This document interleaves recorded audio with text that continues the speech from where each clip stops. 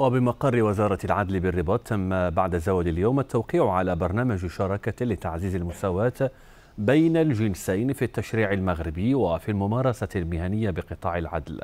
الشراكة تمت بين وزارة العدل وهيئة الأمم المتحدة للمساواة بين الجنسين وتمكين المرأة بالمغرب. والهدف التحقيق الفعلي للمناصفة في مجال العدل. ربورتاج يوسف لطفي والمتابعة لشيماء العلام نحتاج إلى تفكير عميق وجهد كبير في التعاطي مع موضوع المرأة حتى تتمكن من تحقيق طموحاتها في المجال الوظيفي والإداري.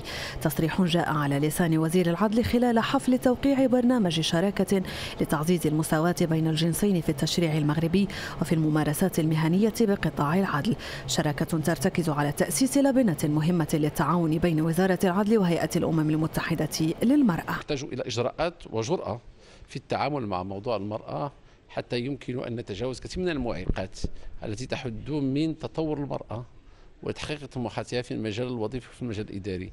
لذلك هذه الاتفاقية وهذا اللقاء سيسمح للتعاون بين وزارة العدل والأمم المتحدة وأنا عندي اليقين أن سنصل إلى النتائج ستعود بالخير على وضعية المرأة في مجالات متعددة.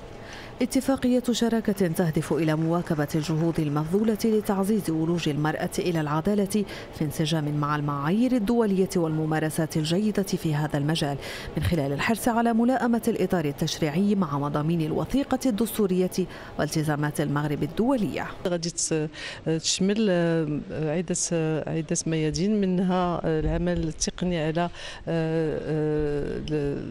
ملائمة القوانين الوطنية مع التزامات المغرب على الصعيد الدولي والمواثيق الدولية اللي صادق عليها وأيضا العمل على قضية ولوج النساء إلى القضاء خصوصا نساء ضحايا العنف شراكة ستعطي لا محالة دفعة مهمة للمشاريع الرامية إلى التحقيق الفعلي للمناصفة في مجال العدل.